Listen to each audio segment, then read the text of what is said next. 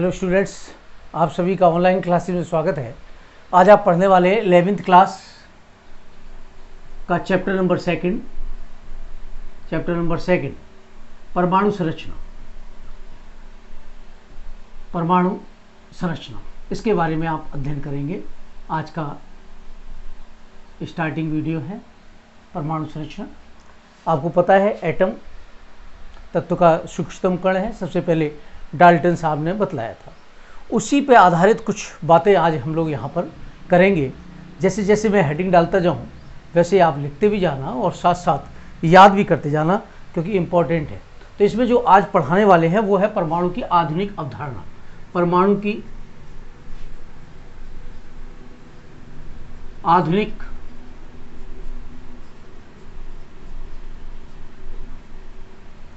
अवधारणा। क्या है परमाणु की आधुनिक अवधारणा? ये फ़र्स्ट टॉपिक है। इसमें क्या है कि परमाणु का जो आधुनिक मॉडल है, वो तरंग यांत्रिकी सिद्धांत पर आधारित है। किस पर आधारित है? तरंग यांत्रिकी सिद्धांत पर आधारित है। मैं पॉइंट्स बना बना करके लिखता जा रहा हूँ, जिससे कि आपको याद करें, करते बने। तो परमाणु संरचना का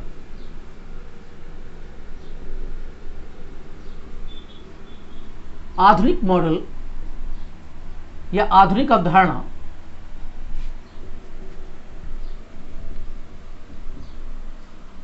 अवधारणा तरंग यांत्रिकी सिद्धांत पर आधारित है।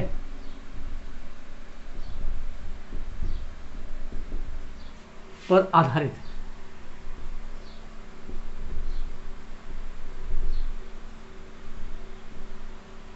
अब ये वेव तरंगे उनकी मैकेनिज्म जो आएगी, उन पर आधारित है, ये बात आगे डिटेल में आएगा हमारा आपका।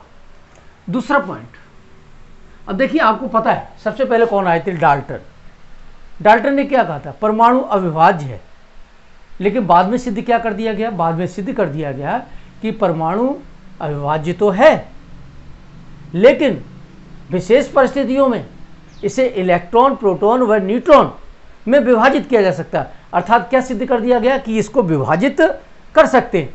तो विशेष परिस्थितियों में। अब इसका मतलब क्या हो गया कि परमाणु तीन मूल कणों से मिलकर के बना है। वो तीन मूल कण हैं, इलेक्ट्रॉन, प्रोटॉन और न्यूट्रॉन। तो अब जो डाल्टन साहब थे, उन्होंने कहा था कि देखो, अविभाज्य है। लेकिन वैज्ञानिकों ने क्या कह दिया? बोले, साहब, ये विभाज्य है। विशेष परिस्थितियों में हम इसको विभाजित कर सकते हैं। तो दूसरा पॉइंट याद कर लेना। डाल्टन के अनुसार परमाणु अविभाज्य है।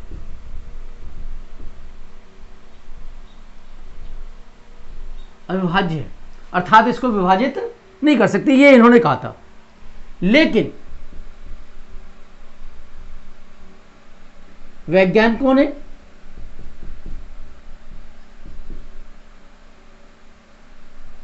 सिद्ध किया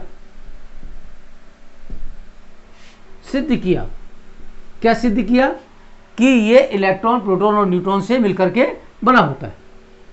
किया कि परमाणु electron comma proton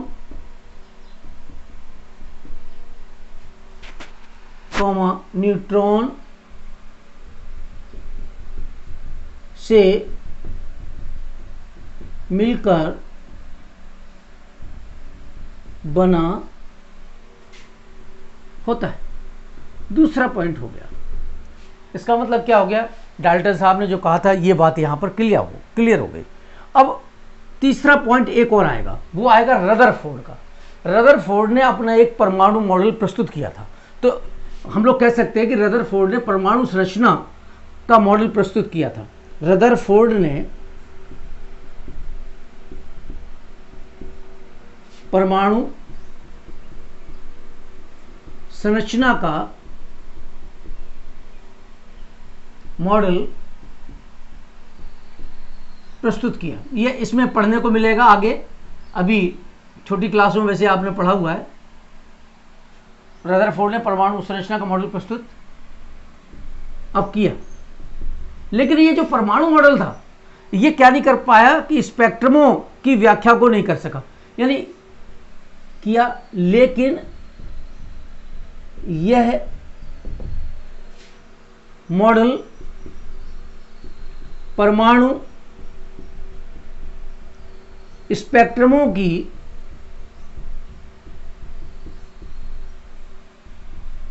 व्याख्या नहीं कर सका। मैं छोटे छोटे पॉइंट लिख रहा हूँ, जिससे कि आपको लिखने में भी दिक्कत ना हो। रदरफोर्ड ने परमाणु संरचना का मॉडल प्रस्तुत किया, लेकिन यह मॉडल परमाणु स्पेक्ट्रमों की व्याख्या को नहीं कर सका। इसके बाद में आ गया बोर का। अब बोर ने रदरफोर्ड के परमाणु मॉडल जो इन्होंने दिया था, इसका संशोधन कर दिया। संशोधन कर दिया। इसे हम लोग क्वांटम सिद्धांत पर आधारित मानते हैं। अब इसके बाद में आ गए रदरफोर्ड के बाद में आ गए बोर। देखिए, ध्यान दीजिए, सबसे पहले कौन आए? डाल्टन डाल्टन के बाद में कौन आए? रदरफोर्ड यानी डाल्टन डाल्टन के बाद में आ गए रदरफोर्ड और रदरफोर्ड के बाद में आ जाएँगे बोर साहब। अब बोर ने क्या किया? जैसे जैसे संशोधन होता गया बोर ने रदरफोर्ड के परमाणु मॉडल को संशोधित किया।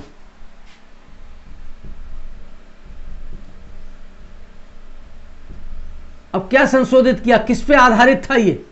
ये क्वांटम सिद्धांत पर आधारित था। तो ये विकिरण के संशोधित किया, जो विकिरण के, मैं लिख देता हूँ जिससे याद रह जाए, विकिरण के क्वांटम सिद्धांत पर पर आधारित है।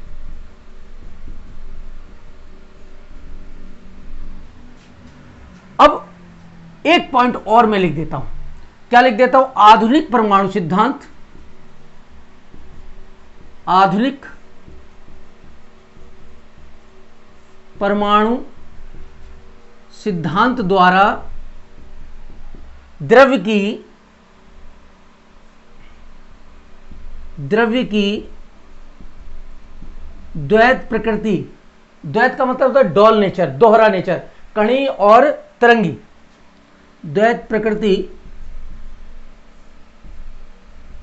अभी मैं समझाऊँगा इसको, मैं लिख देता हूँ जरा, फिर समझाता हूँ। तरंगी तथा अनिश्चितता,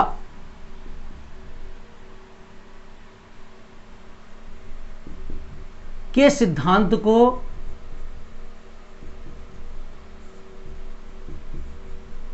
प्रस्तुत किया। अब आप एक बार एक लाइन में फिर से समझें। एक चीज़ क्लियर हो गई, परमाणु की आधुनिक अवधारणा के बारे में हम लोग पढ़ रहे हैं। तो इसमें क्या था? सबसे पहले जो ये सिद्धांत जो है ना, ये वाला सिद्धांत, ये किस पे आधारित है? तरंग यांत्रिकी पर आधारित है। तो वेव की जो मैकेनिज्म है, जितनी भी तरंगे हैं, उस पर आधारित है। दूसरा नंबर क्या आ गया? डाल्टन के अनुसार। अब जो डाल्टन नाम के वैज्ञानिक थे, इन्होंने बतलाया था कि परमाणु अविभाज्य है, लेकिन वैज्ञानिकों ने बाद में सिद्ध कर दिया कि ये तीन मूलभूत कणों से मिलकर के बना वो तीन मूलभूत कण कौन कौन से हैं? इलेक्ट्रॉन, प्रोटॉन और neutron. Electron, proton and neutron. Neutron उदासीन होता है, प्रोटॉन धनात्मक होता है, इलेक्ट्रॉन निगेटिव होता है। रदरफोर्ड ने इस सिद्धांत को लिया और एक अपना एक मॉडल प्रस्तुत किया, जिसे हम आधुनिक कह सकते हैं। लेकिन वो सिद्धांत भी जो था जो रदरफोर्ड ने प्रस्तुत किया था वो भी स्पेक्ट्रमों की व्याख्या करने में सफल नहीं हुआ। जब नहीं हुआ तो इसको लिया फिर बोर ने। अलग अलग वैज्ञानिक आए हैं आप देखेंगे इस, इस चैप्टर में अलग अलग सिद्धांत तो अलग अलग तरीके किस तरीके से सिद्ध करते हैं। अब देख लीजिए रदरफोर्ड के बाद में आगे बोर। बोर ने रदरफोर्ड के परमाणु मॉडल को एक संशोधन किया। उसमें और संशोधित रूप दिया। लेकिन जो विकिरण के क्वांटम सिद्धांत पर आधारित है, ये इसको आधुनिकता के रूप में मान लिया गया। अब इन्होंने क्या कहा? पांचवा पॉइंट आधुनिक परमाणु सिद्धांत द्वारा द्रव्य द्रव्य कहते हैं पदार्थ को। द्रव्य किसको कहते हैं? पदार्थ को। पदार्थ की द्वैत प्रकृति। जैसे इलेक्ट्रॉन है, इलेक्ट्रॉन को कणी भी मान लिया गया, यानी पार्टिकल्स के रूप में। और तरंग के रूप में भी माना गया है, अर्थात उसकी दोहरा नेचर होता है, डॉल नेचर होता है कणी प्रकृति और तरंगी। अनिश्चितता किया गया। अनिश्चितता के सिद्धांत को प्रस्तुत करते हैं। अनिश्चितता का मतलब होता है कि किसी समय कोई भी कण की स्थिति एवं संवेग का निर्धारण, संवेग का निर्धारण एक समय नहीं हो सकता। ये नियम है जो आगे आपके फिजिक्स में भी है, केमिस्ट्री में भी है, दोनों में आने वाले हैं। तो लेकिन मैंने आपको यहाँ पे बतला दिया जिससे कि आपको याद रह जाए। कन्फ्यूज़न ना हो कि यह अनिश्चितता का सिद्धांत क्या है, ये क्या है। तो द्वैत प्रकृति का मतलब वो दोहरा नेचर, कणी और तरंगी। अनिश्चितता का मतलब क्या हो गया? ये स्थिति पोजीशन एवं उसके संवेग का निर्धारण नहीं सॉरी अनिश्चितता के सिद्धांत का निर्धारण करता है। तो इसी के सिद्धांत के आधार पर ये आधुनिक परमाणु सिद्धांत दिया गया। नेक्स्ट बात हम लोग ले लेते हैं। यहाँ पर ये टॉपिक फ़र्स्ट टॉपिक समाप्त होता है। सेकंड टॉपिक का एक छोटा सा रूप में लेता हूँ, इलेक्ट्रॉन की खोज। देखिए, फेराडे नाम के एक वैज्ञानिक थे। उन्होंने एक नलिका बनाई, जिसका नाम था विद्युत विसर्जन नलका। इलेक्ट्रॉन की खोज।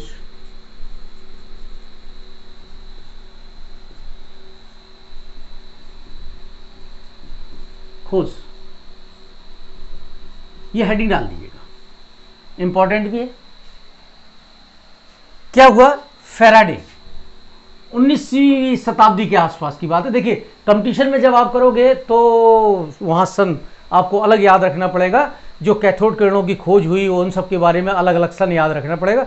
लेकिन जनरल जब हम लोग टॉपिक पढ़ते हैं इलेवेंथ लेवल का तो इलेवेंथ लेवल पे तो आप लोग 19वीं शताब्दी लिख सकते हो, बाकी नहीं लिख सकते हो। 19वीं शताब्दी में माइकल फैराडे नाम के एक वैज्ञानिक थे, इन्होंने क्या किया? एक विद्युत विसर्जन नली मैं एक चित्र बनाता हूँ। विद्युत विसर्जन नली। मेरे शब्दों पे जाइएगा। विद्युत किसने? फेराडे माइकल फेराडे लेकिन शॉर्ट में हम लोग फेराडे कहते हैं। विद्युत विसर्जन नली ले अब इस विद्युत विसर्जन नली में एक का नाम तो रख दिया एक सिरे का निगेटिव और एक सिरे को पॉजिटिव कर दिया। अब आप यहाँ पर देखिए इस नली में वैसे तो यहाँ पर आ, मैं कंप्लीट नहीं बना रहा हूँ एक हल्का सा चित्र बना देता हूँ। यहाँ से निर्वात करने की कोशिश की गई। तो यहाँ पर कहा, निम्न दाब जब प्रेशर से कंप्रेस कर वो सॉरी निकाल लेंगे वैक्यूम कर देंगे तो प्रेशर कैसा हो जाएगा? कम हो जाएगा। तो कम दाब पर।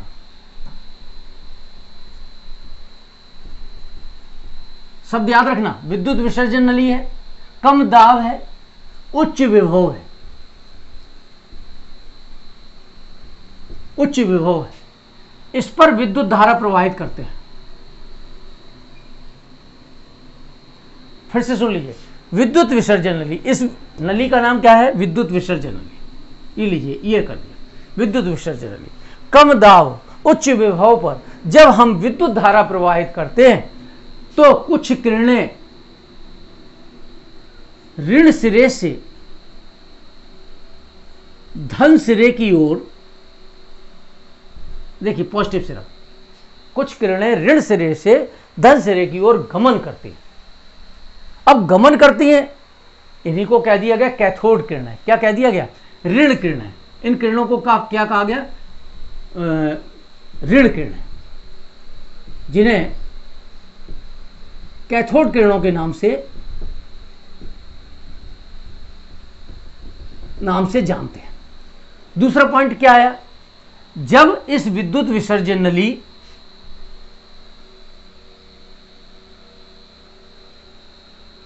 छोटा सा बना लेते हैं, नीचे का पॉइंट्स नहीं बना रहे ये पॉजिटिव है, ये पॉजिटिव है और ये निगेटिव है। अब क्या किया? इस विद्युत विसर्जन नली में जब आपने विद्युत धारा प्रवाहित की, किरणें निकल रही, उस टाइम आपने क्या किया? यहाँ पर चुंबकीय क्षेत्र रख दिया। कौन सा क्षेत्र रख दिया बच्चों? चुंबकीय क्षेत्र। ये पॉजिटिव और ये निगेटिव यानी धन सिरा, मैं हिंदी में लिख देता हूँ जिससे आपको दिक्कत ना हो। धन सिरा और ऋण सिरा। ये चुंबकीय क्षेत्र है, लीजिए, मैं और चुंबकीय क्षेत्र। अब आप गौर से देखें। निगेटिव से पॉजिटिव की ओर कुछ किरणें निकल रही थी। लेकिन क्या हुआ? ये किरणें धनात्मक चुंबकीय क्षेत्र की ओर बच्चों, यहाँ ये मत सोच लेना कि तीन ही किरणें निकल रही हैं। बहुत किरणें हैं। ये सिर्फ़ चित्र स्पष्ट दिखलाई दे, इसलिए तीन, चार ले लेते हैं, क्योंकि जगह छोटी होती है। तो यहाँ पर धन सिरे की ओर मुड़ जाती है। एक चीज़ हो गई, धन सिरे की ओर मुड़ गई, इसका मतलब कैसी है? ये ऋण किरणें है। इसीलिए इसको कैथोड किरणें कहा गया। एक और प्रैक्टिकल हुआ। क्या प्रैक्टिकल हुआ?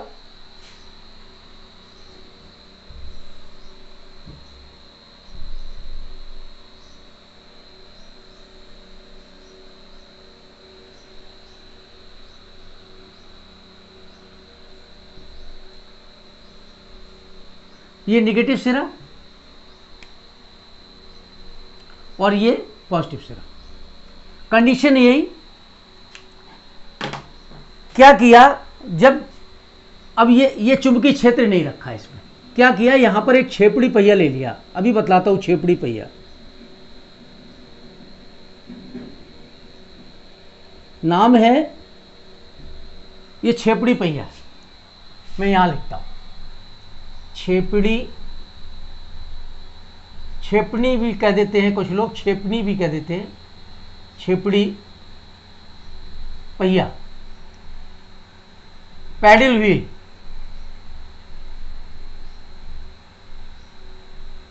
पैडल व्हील हल्का पहिया।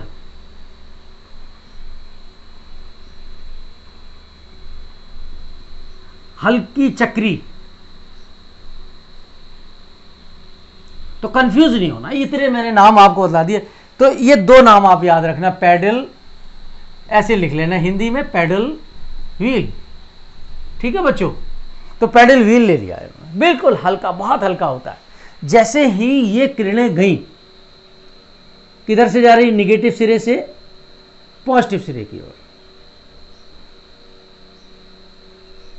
अब ये किरणें यहाँ टकराई। टकराने से क्या होगा इसका मूवमेंट हो गया।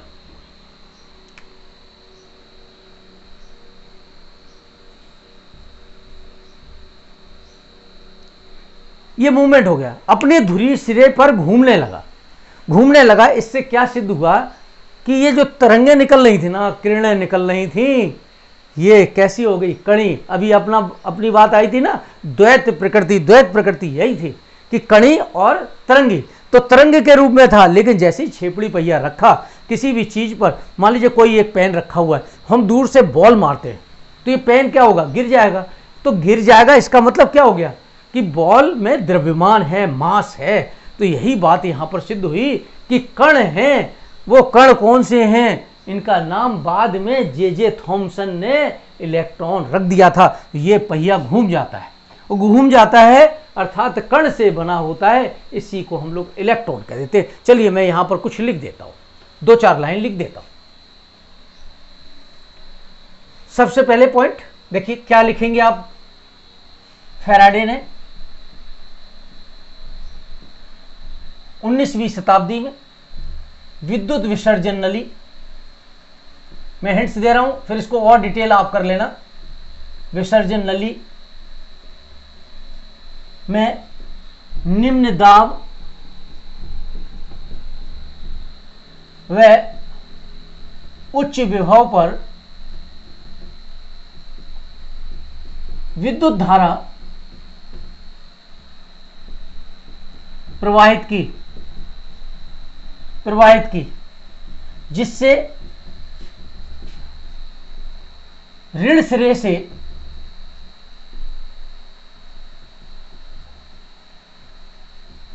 धन सिरे की ओर, धन सिरे की ओर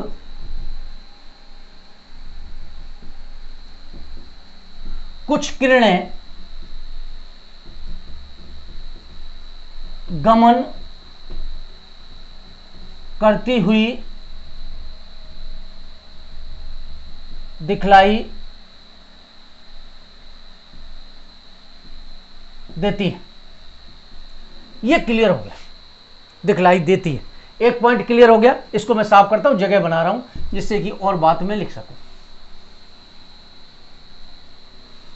एक पॉइंट हो गया। इसके बाद दूसरा पॉइंट क्या लिखेंगे? पहला पॉइंट इस विद्युत विसर्जन नली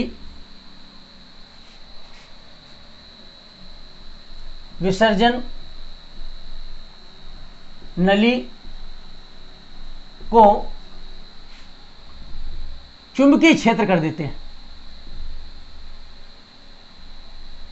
अब चुंबकीय क्षेत्र कौन सा? बच्चों, याद रखना, यहाँ पे पॉजिटिव एंड नेगेटिव धन सिरा और ऋण सिरा आपने देखा ना, चुंबक में एक धन सिरा होता है, एक निगेटिव सिरा होता है। ऑब्लिक नेगेटिव में रखते हैं।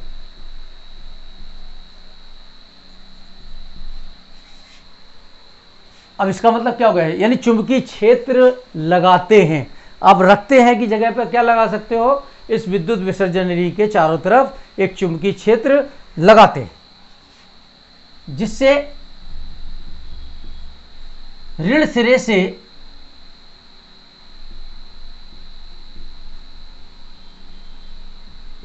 निकलने वाली किरणें, धन चुंबकीय क्षेत्र की ओर, चुंबकीय क्षेत्र की ओर मुड़ जाती है। अब देख लीजिए, गौर से, देखो, गौर से, मुड़ गई, किधर पॉजिटिव किधर, धन सिरे की तरफ़, धन सिरा ये, मुड़ जाती है। जिससे सिद्ध होता है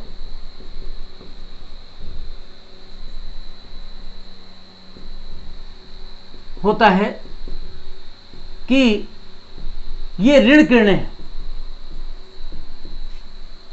ऋण किरणें अब इन्हीं को हम लोगों ने ऋण किरणें कह दिया गया। अब अगली बात आती है इसमें कि इस विद्युत विसर्जनरी में हमने छेपड़ी पहिया रखा। तो ये दो पॉइंट हो गए आपके। अब तीसरा पॉइंट अब इस विद्युत विसर्जन नली में, विद्युत विसर्जन नली में एक हल्का पहिया, एक हिंदी और लिख दी मैंने, हल्का पहिया, छेपड़ी व्हील छेपड़ी पहिया, पैडल व्हील, ऐसे बहुत से नाम हैं।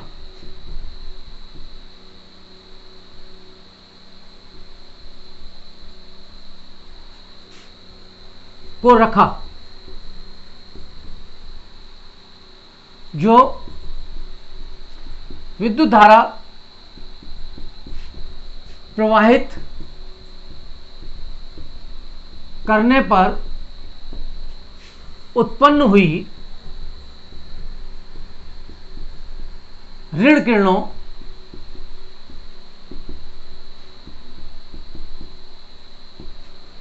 के टकराने से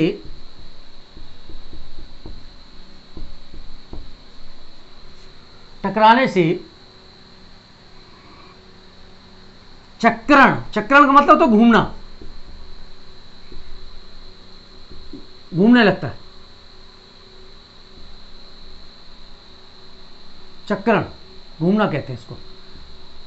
करने लगता है। जिससे सिद्ध होता है,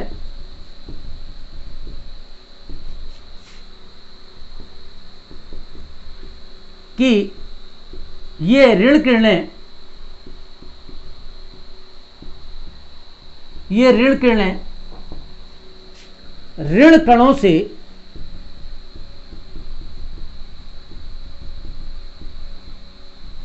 मिलकर बनी जिन्हें जे जे थॉमसन ने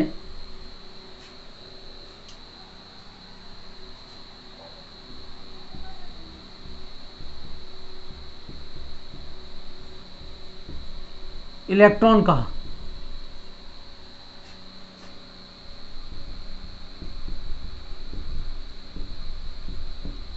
कहा? तो ये मॉडल था। आप लोग याद कर लेना कि इलेक्ट्रॉनों का नामकरण जे जे थॉमसन ने दिया था, वैसे ऋण कण कहा गया। तो ये इंपॉर्टेंट टॉपिक थे, बहुत ही इंपॉर्टेंट हैं। आप लोग याद करते रहना, अभी स्टार्टिंग है इलेवेंथ क्लास है। अभी से जब ये इसी को फाउंडेशन का चल रहा है, बहुत ही मेहनत करने की आवश्यकता है। Thank you very much